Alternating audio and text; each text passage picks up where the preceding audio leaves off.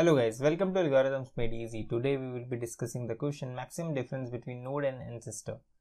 In this question we are given the root of a binary tree and we need to find the maximum value v for which there exist a different nodes a and b where v is the absolute value of the difference of the two nodes and the condition also states that a should be an ancestor of b. Now a node A is an ancestor of B if either any child of A is equals to B or any child of A is an ancestor of B. So in the first example we can see that 6 is an ancestor to 4 and 7, 8 being ancestor to all the child nodes and like that. And when we find all the absolute differences the maximum value comes out to be 7 and uh, we return it. In the second example there is a mistake in the diagram itself the value of the last node should be 3 and not 4 because in the input the last node's value is uh, 3 not 4 and hence the answer will come out to be 3 because the difference will be 3 maximum 3 now the, there are constraints given with the problem. The number of nodes in the tree is greater than 2 and less than 5000 that means there is guaranteed a result and the node values are always positive. That is from 0 to 10 raised to the power 5 the hint given with the question states that now for each subtree, if we find the minimum value and the maximum value of its descendant. Now that makes sense because if we have the minimum and the maximum for this uh, subtree 647, we can find the maximum absolute difference. And same with every tree. So this problem is solved using recursion and we at each subtree find the minimum and the maximum. So how do we do it? So let's see this through code and we'll discuss it line by line. We'll start off with creating a diff variable which will hold the diff. Then we have a helper method. And then at the end we need to return the difference. In this helper method node. Now if the node is null that means that means the minimum and maximum in this case should be the minimum should be the integer dot max value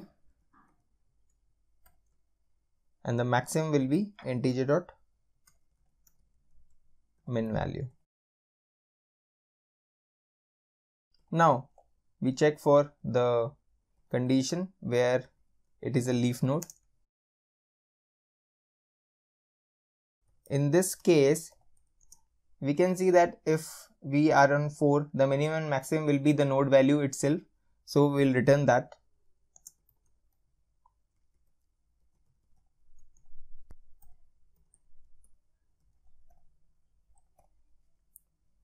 This is done. Now we have these values. We'll call for left and right subtree for the particular node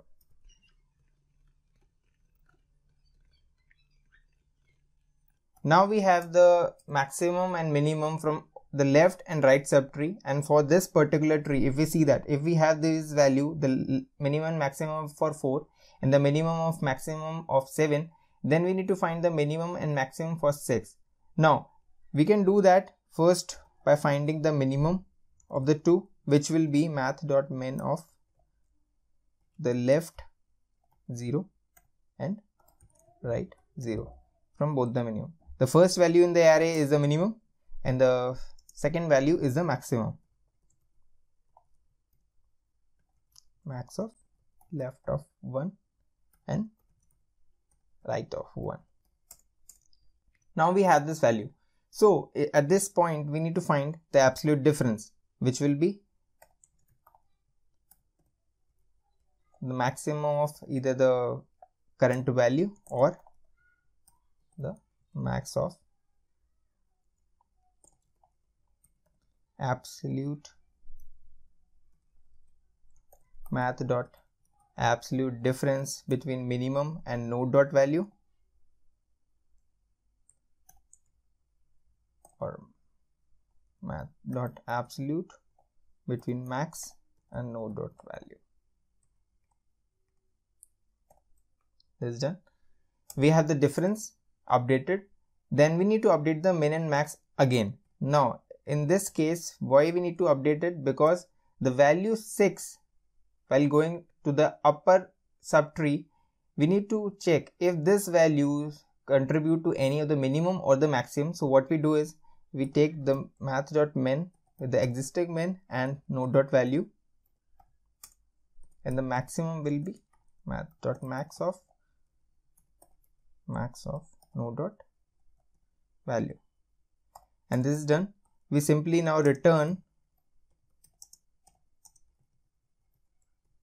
the minimum and maximum. So now we have taken care of all the conditions and we'll run this code. So it is giving right result for this. Let's test this for the second input as well.